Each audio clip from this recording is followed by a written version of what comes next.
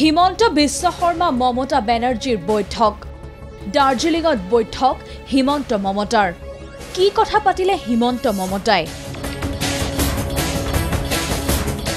এয়া দাৰ্জিলিঙত থকা পশ্চিমবংগৰ গ্ৰীষ্মকালীন ৰাজভৱন। এই ৰাজভৱনলৈ বুধবাৰে আহিল এগৰাকী অপ্ৰত্যাশিত অতিথি। সেই অতিথিজন আন কোনো নহয়। অসমৰ মুখ্যমন্ত্ৰী হিমন্ত বিশ্ব শৰ্মা।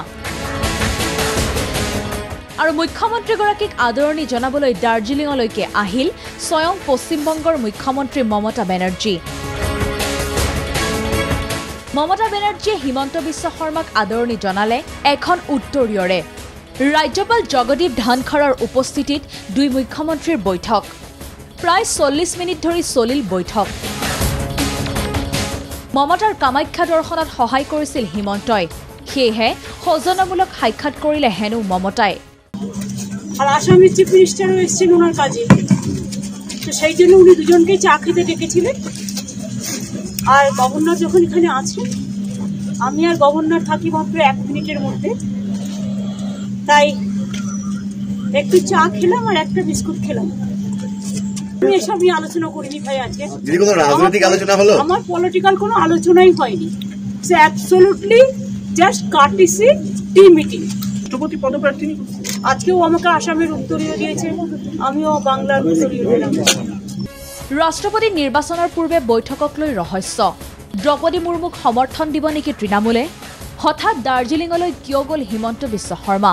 রাষ্ট্রপতি নির্বাচন নিয়ে কিছু হেমন্ত বিশ্ব শর্মা তো ছিলেন। পলিটিক্যাল ডিসকাশন ইজ দিদি রাষ্ট্রপতি রামকৃষ্ণ শর্মা আপনার পুরনো সতীর্থ একটা সময় একসঙ্গে কাজ করেছিলেন আজকে অনেকদিন পর দেখা হলো আর অন্য ভালো কোনো লাগলো আমি যখন কামাখ্যায় গিয়েছিলাম তখন ওরা আমাকে খুব হেল্প করেছিল दीदी राष्ट्रपति चुनाव को लेकर कुछ बात हुई है कैसे बात होगा उसका पार्टी अलग है हमारा पार्टी अलग है মমতা বেনাৰ্জীৰ মন্তব্য বহু অসমীয়া লোক পশ্চিমবংগত আছে বহু বঙালী লোক আছে অসমত সেয়ে দুই ৰাজ্যৰ মুখ্যমন্ত্ৰীয়ে সমিল মিলেৰে কাম কৰিব আমাদের একটু রিলেশন রাখা উচিত বলে আমি মনে করি এই কারণে যে অনেক সময় বাংলায় অনেকে আসামে থাকে।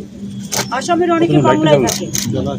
আবার আমাদের বর্ডারও আলিপুরদুয়ার টুয়ার একটু কাজে কখনো যদি কোনো প্রয়োজন হয় তখন একটা যোগাযোগ রাখা। কমিউনিকেশন তো state government to state government রাখাই উচিত। কিন্তু সঁচাকৈ এই কথাই পাতিলেনে দুই মুখ্যমন্ত্ৰীয়ে? এই বৈঠক সন্দৰ্ভত সোধা হৈছিল মুখ্যমন্ত্ৰী হিমন্ত বিশ্ব শৰ্মাকো। বিশেষ একো কথা নহয়। মই দাৰ্জিলিঙত গৈছিলোঁ। ৰাজ্যপাল ডাঙৰীয়াৰ লগত বিশেষ এটা আলোচনা আছিল।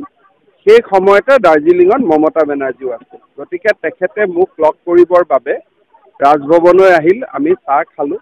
আৰু যিহেতু ওচৰ চুবুৰীয়া ৰাজ্য ইজনক সিজনক প্ৰয়োজন হৈ থাকে সেইবাবে সৌজন্যমূলক কথা বতৰা ইয়াত বেলেগটো পাতিবলগীয়া একো নাই।